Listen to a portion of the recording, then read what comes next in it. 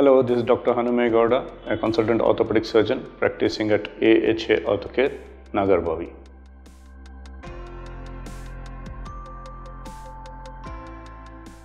Managing a spinal tumor is a huge topic by per se. I'll try to simplify it as much as possible. There are two types of tumors in our body. One is a benign tumor and a malignant tumor. The spinal cord gets affected by many of these benign tumors and the commonest one is an osteochondroma or a osteoma.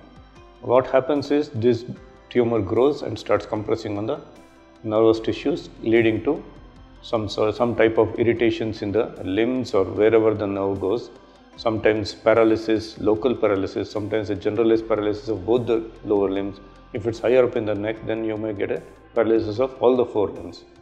So treatment will be if, because it's uh, benign, we can completely excise it, remove it off completely, and we can reconstruct the spine. And the results, if at all there is no major neurological damage, results are good. Then the malignant tumors are very common in spine.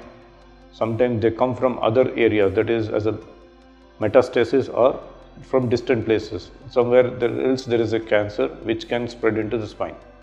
So treatment of malignant tumors in spine by and large includes chemotherapy because it's very difficult to treat a malignant tumor in the spine. There are occasions when the tumor goes into such huge sizes that it may have to be operated, also called debulking, and reconstructed with bone from elsewhere, and then chemotherapy and radiation therapy will be required.